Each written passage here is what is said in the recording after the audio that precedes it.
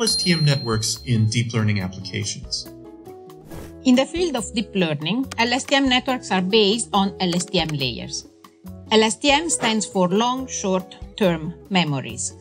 They are complex recurrent neural architectures, particularly efficient in remembering past inputs. So let's move one step backwards. Fully connected feed-forward neural networks are great.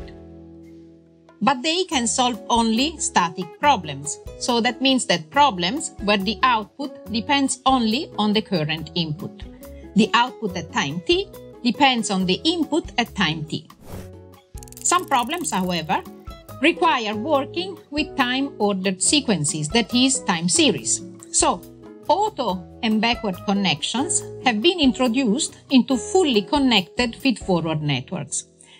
You see, these kind of connections inject the variable time into the network response. In fact, here, at each time t, the network has as input the input vector available at time t and the output vector of the recurrent unit at time t minus 1.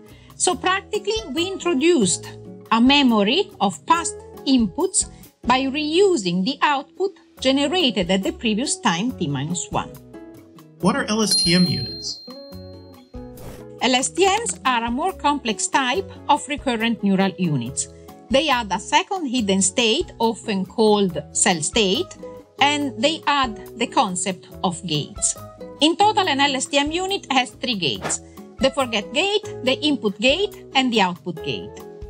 The forget gate forgets or remembers part of the accumulated memory. The input gate decides which part of the input should become part of the cell states. And the output gate decides which information should then be available at the output of the LSTM unit. To the dynamic character introduced by the recurrent connections, LSTM units also add the filtering behavior of the gates. Got it. So, what are LSTM units useful for? LSTM units are suitable for analyzing sequential data because they are able to process information from the past. So they are used in all those kind of tasks requiring memory from the past, like in the time series analysis, a field where LSTM units are frequently used is natural language processing, for example, in automated machine translation, where the context is important to build the sentence in the target language.